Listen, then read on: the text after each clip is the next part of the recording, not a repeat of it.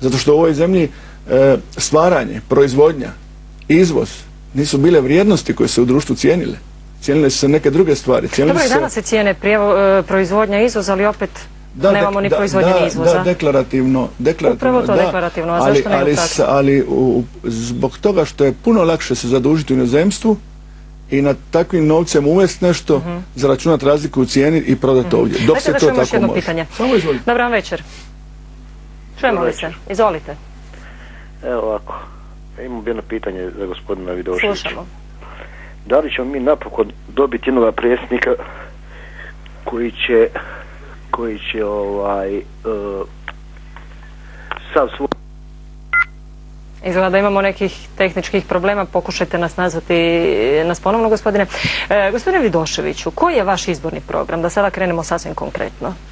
Moj izborni program, vrlo jednostavan. Želim zemlju u kojoj će svi imati jednake mogućnosti. Nećemo biti jednaki nikad, bit ćemo različiti, ali to je bogatstvo. Uh Ali ćemo imati jednake mogućnosti. Zemlju u kojoj... Postoje li sada uh, jednake mogućnosti? Pa mi živimo u zemlji u kojoj to ne trebamo ja govoriti, pa vi, vi ćete me vjerojatno i danas to pitati u ovoj emisiji, u kojoj je kriminal sustav. A u kojoj je korupcija postala stil života. Uh -huh. e, je li vam normalno, danas niko ne razmišlja da bismo recimo PDV plaćali po naplaćenoj realizaciji. To uopće nikome ne pada na pamet. Za vama je normalno da vi poslujete s državom, da državi fakturirate za nešto ste prodali ili robu i uslugu, a da vam, da vam država to ne plati, a da vam istovremeno zaračuna PDV. I odvede vas u dug i u probleme. Dakle, u, nama je nemoral postao sastavni dio života. To, je, to ja ne mogu prihvatiti. Mm -hmm. Ja ne želim da se kult raspodjele favorizira. Hoću da se, da se slave oni koji rade, koji stvaraju. Je li normalno da, evo, svjedoci ste ne ovu godinu, ne god, godinama unatrag, da se državni novci, gradski novci, općinski novci, dakle ne novci oni koji dijele, dijele, a promocija slava se uzima onima koji dijele, a ne dijele svoje, Mhm, dijele tuđe. Dakle, to je jedan, jedan svijet u kojem smo živjeli i živjeli smo od ove krize. Kriza će nas otrijezniti, kriza će nas dovesti u poziciju da ćemo se morati, morat ćemo se vratiti onoj temeljnoj ljudskoj vrijednosti, to je poštenje i rad. To je, to je nešto što je tako jednostavno i ono što na jednoj praktičnoj razini, mislim da je odgovornost budućeg predsjednika, kad sam rekao da je treba ekonomski emancipirati zemlju, ali ne samo ekonomski, a to je da se stvori napokon jedna os, jedan trokut između predsjednika Republike, vlade, Hrvatske narodne banke, uz potporu zakonodavne i, prav, i sudbene vlasti da bi se pokrenuo proces stvaranja nacionalne strategije. Ni vi, ni ja, ni ovi kamermani, ni gledatelji koji nas gledaju ne znaju gdje Hrvatska ide za 20 godina. Odgovor mi ćemo biti Europske unije nije točan odgovor. Koji je Mi točan ćemo- odgovor? Što vi pretpostavljate? bit će onako kako se mi dogovorimo. Kakvu nacionalnu strategiju usvojimo.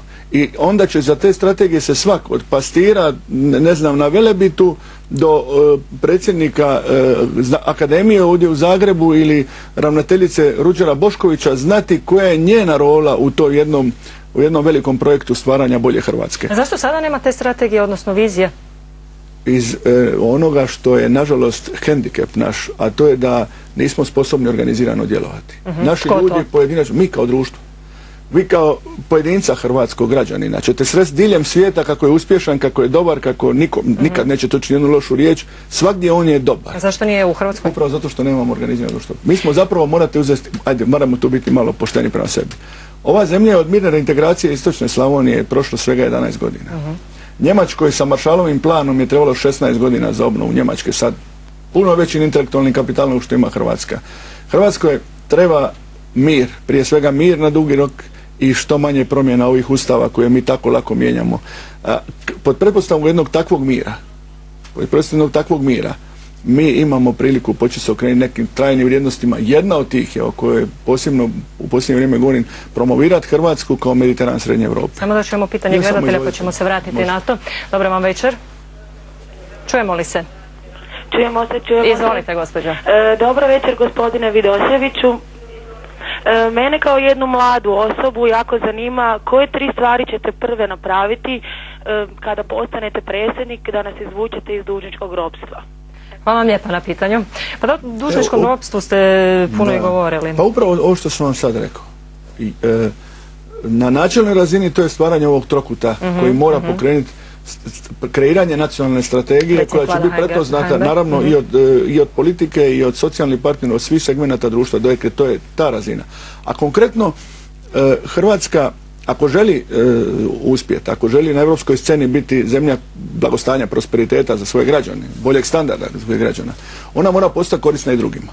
I stoga tad, o čemu sam počeo govoriti, da Hrvatska mora postati Mediteran Srednje Europe. To znači da zemlje od Baltika prema dolje, dakle od Poljske, Češke, Slovačke, Mađarske, Bavarske, dijelova Ukrajine, prirodno preko Hrvatske komuniciraju svijetom i, Hrvatsk, i, i svijet preko Hrvatske komunicira s njima. Vi imate međunarodne luke na Jadranu imate e, probijen taj bari- barijeru velebita tog masiva i nakon kapele pa sve do Save i Drave imate silni industrijski, razvijeni industrijski prostor koji je nažalost zbog, da sad ne vraćamo se u prošlost, e, stagnira. On mora biti ponuđen svijetu za razvoj svijeta. Tu su vam, tu vam u, na u kratkom roku, u pretpostavku izgradnje jednog e, teretno, e, e, aerodroma za terete, koji neće biti dimenzioniran za Hrvatsku, nego za taj širi regionalni prostor, vi sutra možete rješavati na desetke tisuća no- novih radnih mjesta. To, to je, tu je zapravo odgovor. E, e, ovakve poteze ne može raditi pojedinac. Pojedinac ih može pokrenuti.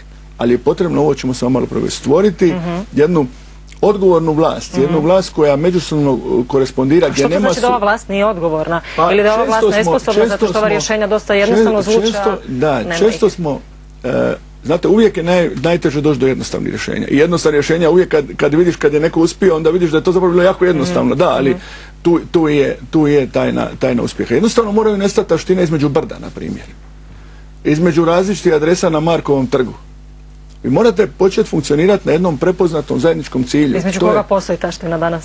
pa postojala je i postojeće u odnosu parlament prema vladi, u odnosu e, predsjednički dvori prema vladi i obrnuto, u odnosu e, pojedinih drugih sastavnica e, ovoga vlasti. Mi, kad vi ne znate, pa i ostalo, jer vi imate svoje osobne ambicije kao mlada žena, vi točno znate što biste željeli za 3, 4, 5 godina. Vi radite, ne, da li ćete sve uspjeti, to ne znate, ali ćete sve dati da to napravite, jer znate kud idete. Mi to ne znamo.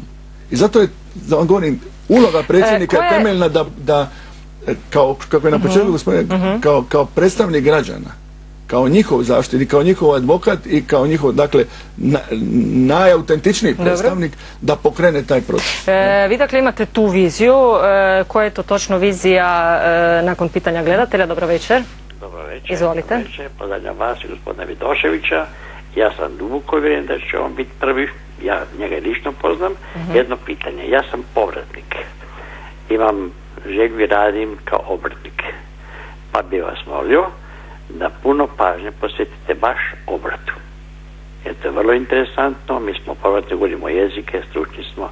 Treba nas ukopstati što više pažnje sa svime, ali posebno da se pozove na razgovore.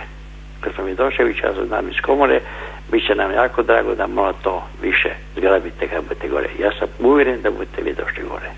Hvala vam lijepa gospodine na pitanju na komentaru. E, Što s hrvatskim obrtništvom gospodine Vidoševiću? Hrvatsko obrtništvo je najbolje u hrvatskoj gospodarskoj tradiciji. Ono što imamo kvalitetne industrije koje su nicale kroz 20. stoljeće iznikle su iz hrvatskih obrta.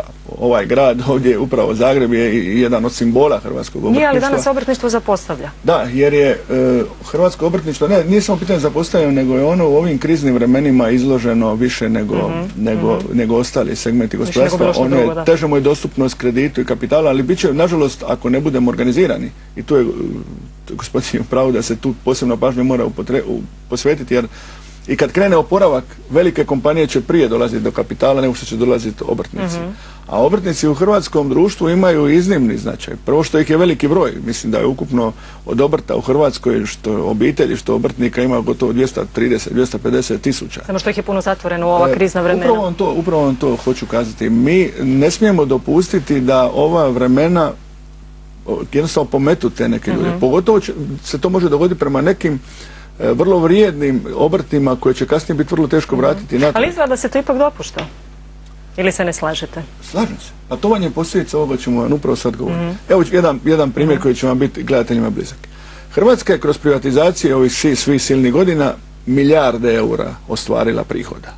Nikada, ni jedna lipa prihoda tih prihoda, vjerujte mi da se vodila velika borba godinama, nisu završili u Hrvatskoj banci za obnovu i razvoj. da bi se onda kroz tu banku vratili opet obrtu, malom poduzetniku, velikom poduzetniku. Nikada. Jer nema koncepta. Da smo imali definirani nacionalni koncept, jasnu viziju kakvu Hrvatsku hoćemo, onda bi se po tome, e, po tome i slagalo. Čujte, e, pojedinac, ma kako bučan bio, ma koliko on govori o tome je nemoćan. Mora se dogoditi jednostavno koji u svemu e, ona kritična masa, kako se kaže, ljudi I konsenzus. tako, ne koji su spremni krenuti. da. Konsenzus je minimum dogovora. Vidite, danas nije sporno pitanje Europske unije u Hrvatskoj. Nije bilo sporno ni pitanje NATO-a. Još neka pitanja su u Hrvatskoj danas nesporna. To je društveni konsenzus.